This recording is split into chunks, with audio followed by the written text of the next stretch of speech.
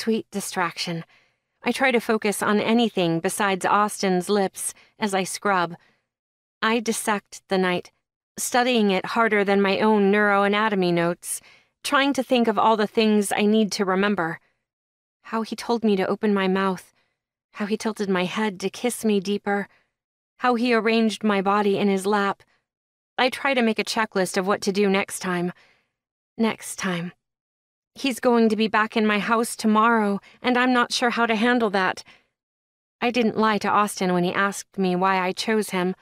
I started with research on scoreyourscore.com. What I didn't tell him is that he personally stars in all my X rated fantasies. That I think he's the sexiest man I've ever seen. Who wouldn't? He's six feet of chiseled, tan masculinity. He's the poster boy for sex appeal. When I saw him in only his boxers, I about lost my mind. I knew he was in shape, but I hadn't expected trim muscles to cover every inch of him.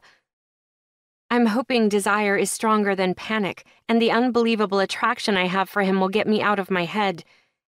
After tonight, I'm not so sure.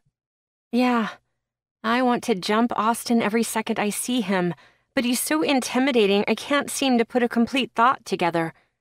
I can't deny there's something about him, something that makes me want to be with him, to keep him. I fall asleep wondering if I can go through with this. Can I spend the next month getting close to Austin Jacobs? Will I be able to walk away at the end of it? I have no doubt he will.